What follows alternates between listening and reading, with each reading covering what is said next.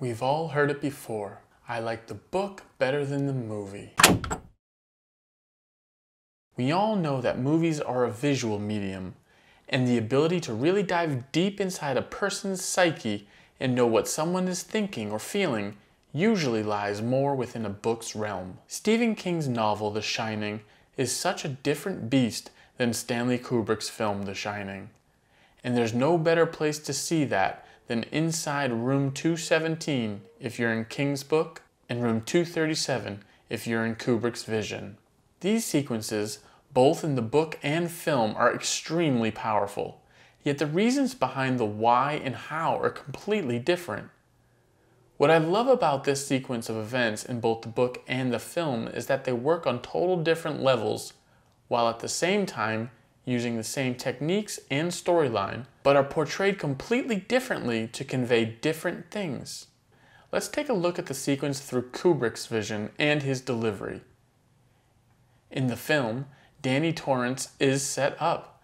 A tennis ball is rolled at him while he plays with his toys, and then he sees that room 237 is open with the key in the lock. In the book, he's not lured in at all. He's not prey being tricked into the room. King has him specifically seek out the room. He steals the key and goes in to investigate under the assumption that nothing in there can hurt him. It's just like pictures in a book. He takes Hallorann's words as fact. He can't be hurt by anything inside the hotel. They can only scare him. But that's not necessarily true now, is it? Kubrick's use of sound and visuals is on full display here. Look at the carpet, the positioning of the toys, the way the shot is framed, the direction from which the tennis ball rolls in. The symmetry is absolutely perfect. And then Kubrick hijacks our eyes to exactly where he wants us to look. We can only look down the hall. We are entranced with where that ball could have come from. And then he goes into Danny's POV, and the camera is moving a lot more. And the visual gives us the same hallway we've already seen, and that's Kubrick's way of allowing us the liberty of letting our eyes wander. And as we let our eyes wander, we see room 237 on the side. And then Danny sees it and looks out the open door. When Danny goes in, Kubrick transitions with both an audio cut and a visual cut based on his mother. We visually hear him ask if his mom is in there, and we dissolve cut from room 237 to his mother checking the boiler system. And he also connects the two scenes with the eerie background music to keep us tense and fully in the sequence, even though what Wendy is doing isn't really interesting. And then Kubrick changes it up on us. The music changes ever so slightly, and with that slight change in the score, we hear Jack Torrance having his nightmare, yelling, grunting. The book has Jack Torrance falling asleep in the basement while he's going through all the newspaper clippings, invoices, receipts, etc studying the Overlook Hotel for a possible book. The ultimate FU to that officious little prick Ullman and even his quote unquote buddy Al. He falls asleep and he dreams. We learn of his family. We learn of his father who loved little Jackie to death and who Jack absolutely adored the same way Danny does to Jack. We find out about the terrible beating that his father gave to his mother and how they ended up at the hospital and how the mother never said a word about it, and how one of his brothers died in the war. We see that Jack has become his dad. The dream has Jack's father telling him to kill Danny, to take his medicine. The book has Wendy knitting and falling asleep, not knowing where Danny is. When Wendy wakes up and hears Jack shouting, her first instinct is that Jack's shouting might not mean that he's in trouble, but that he's done something awful to Danny. Again. In the book, she runs right by Danny, who's at the top of the stairs, without seeing him or the bruises on his neck. Jack's dream in the film is that he chops up his family to pieces, which obviously works nicely with him having an axe at the end of the film attempting this dream. But the book's focus uses Jack's dad and that backstory and plays on it. We feel for Jack tremendously because of the backstory King has created, and the emotional pain is far worse than the physical pain at this moment. Wendy's focus quickly changes to where's Danny? But she has that tone, that accusatory tone that Jack can't handle since Danny's arm was injured. Quote, never gonna let me forget that, are you? The book heavily relies on the tension between husband and wife, and it intensifies here.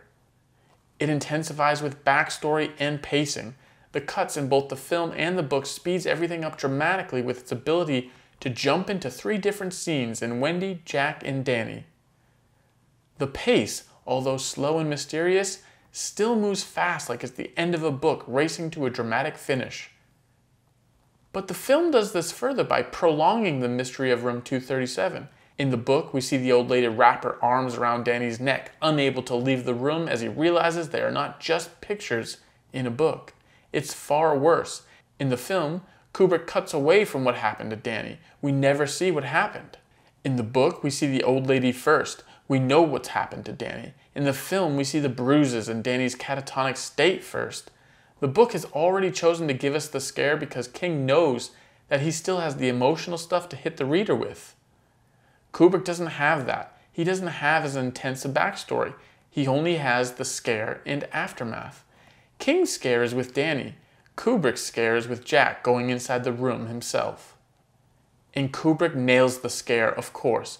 Jack Torrance is a man who's already mad. He could give two shits about his wife and maybe his boy as well. So when he enters that room, of course he sees a beautiful woman naked. And of course he has no problem kissing her.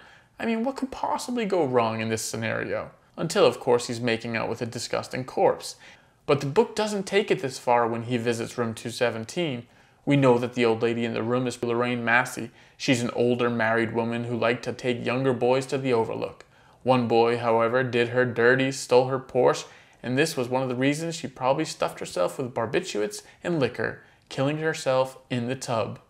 We know this woman in the book. She's part of the Overlook's past. We don't know her in the film. The scare is in the visual payoff, not the backstory. Wendy's character is far more interesting and unique in the book compared to the film. And again, it's the backstory that King has given us that makes the 217 sequence so strong in the book. Wendy has a horrible relationship with her mother, and Wendy also knows that Danny has taken to his daddy far more than he has taken to her. It kills her. Wendy does everything for the boy, and his father has broken his arm, and yet the only thing Danny seems to want in her eyes is Jack. She has these awful feelings that she's inadequate, and they are exasperated by her mother saying she is indeed a terrible mom. When Wendy sees what happens to Danny, she immediately blames Jack, which makes sense based on his track record. But then there's a huge role reversal, which isn't in the film, but in the book. It's a genius way to play on all of Wendy's fears while letting Jack have that moment of, how does it feel? Danny finally snaps out of his speechless state pulls away from Wendy's arms, and runs to his father, clutching him. He says, Oh, Daddy, Daddy, it was her, her, her. And for a moment, everything has flipped. Wendy and Jack both think that Danny is saying his mother was the one that hurt him. And it goes from bad to worse for Wendy when Jack purposely says something he knows will cut her deep, saying she sounds like her mother. Every character in The Overlook is completely put through the wringer in both book and film.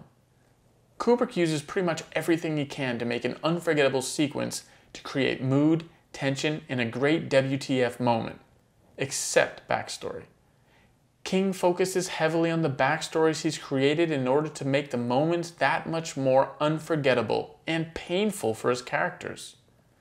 Kubrick and King capture the same sequence of events in completely different ways, using their abilities in the best way they can, with the tools of their selected mediums. Neither version is wrong. Both styles are memorable and powerful.